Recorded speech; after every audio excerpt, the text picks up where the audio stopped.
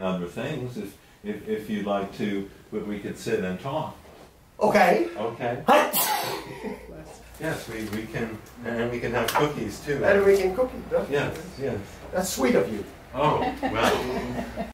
Intros to your pieces were as rich as your pieces. Um, uh, Rich?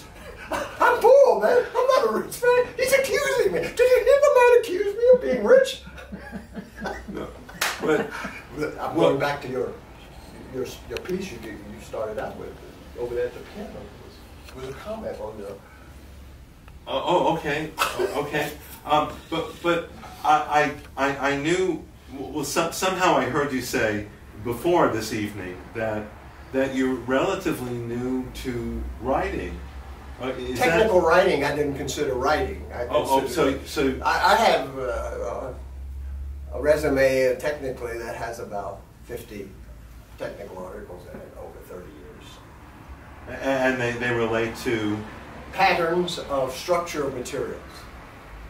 wow it it, it seems uh, esoteric. Th- th- These are articles written by excuse me written for uh, engineers and materials. Yes, right, right, right. And like, are, are you an expert on, on handling plutonium? You don't handle plutonium. Uh, I know. He's an expert. you, you are an expert. He's there. You are. That's no, that's what they told me in Los Alamos. You don't handle plutonium, son. Otherwise, otherwise, when you walk out the gate, the bells go off, they ring, and then, and then they have to come and, and peel your skin off when you die. Oh, something God. like that. Contamination was not allowed. No, no. It was all over the place, but not allowed. Right, it's recorded. so, what what prompted you from having how, how shall I say either technology, materials, Mhm. um, technical writing? What prompted you to to write about the things that, that you, you read to us just a moment ago? Patterns.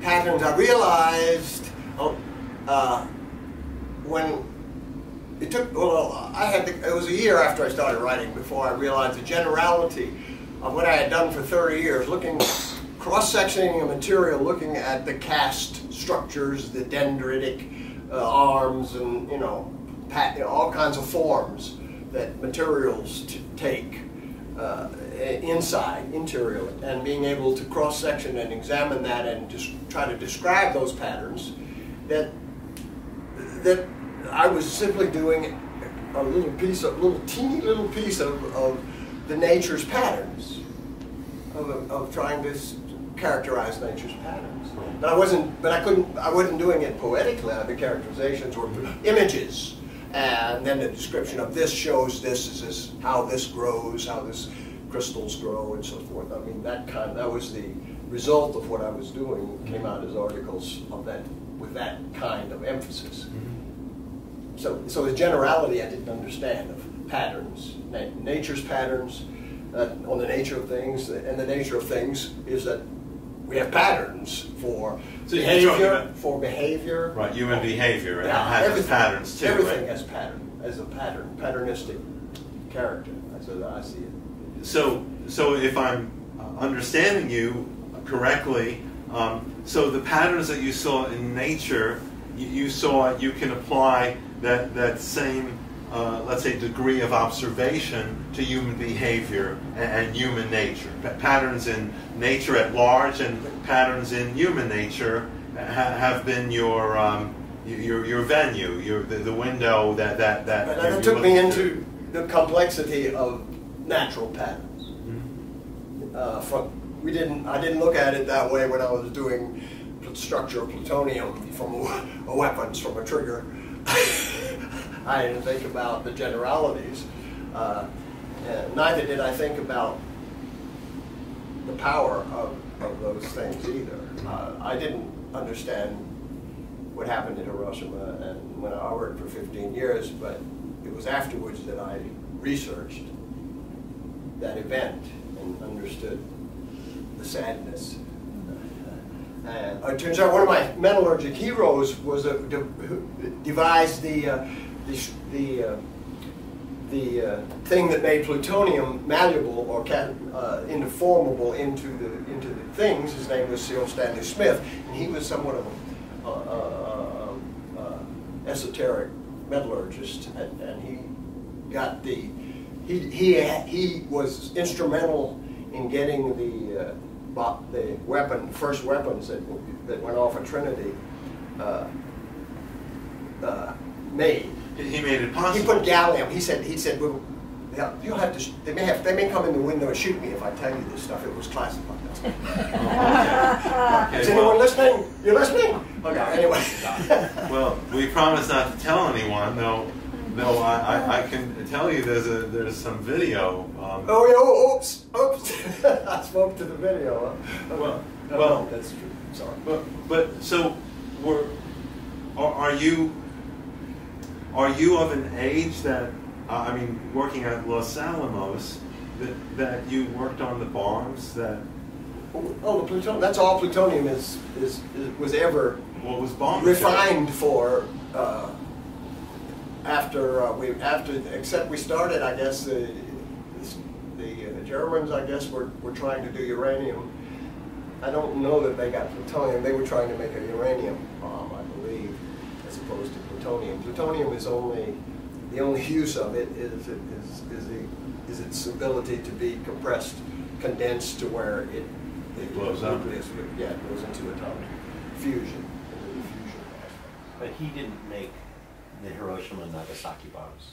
I think you came. No, no, no. I'm coming way after that. Right. I came. I, I can't. I went to. Uh, I was. Just, I, I, I the dates. I give you the dates. I should give you the dates. That's what you're asking for. I didn't realize you were just asking for the dates. no, I, I wasn't sure the, the, the time frame. I. You're, yeah. I went to work in Los Alamos 1930, 1985, not 30. oh, that was a, quite a quite a slip there, wasn't it? Yes, 1985 to, nine, to 2000. Or I worked Los Alamos. 15 years. I'm, I'm kind of relieved uh, somehow. I, I, I, didn't want to working on Fat Boy and. Um, no, I, I, I, didn't do that. Yeah. Little Man. Little Man, yeah. Uh, I didn't do that. Cyril, Cyril was a metallurgist that, that developed those at the, the, that capability of getting there. That's what it was. Well, I'm curious. This, this could be an aside from from the, the wonderful poetry that, that you read to us perform for us so passionately, Jim. I love, I love how passionately you, you get your words out. Um, what, what did you study in school? I mean, is it metallurgical engineering? I was a metallurgical engineer, graduated from Virginia Tech in uh, 59. Spent three years in the army in Germany when the war went up. That's kind of interesting. At ROTC, I had, a, I had a, a commission, and then 62 I came back and went to graduate school finished the University of Florida with a PhD in metallurgy, and uh, from there went various ways, places, taught for six years, and then worked in the steel industry for 10 years, and then 15 glorious times down where I was able to do use electron microscope to uh, look at all kinds of things at, at the labs down in Los Alamos. Oh. I I've, I've looked through an electron microscope. Have you? How was it for you? I, I, thought it was really neat. Yeah. yeah, it was very, very cool. I, it was, I was working on a film about cartilage tissue.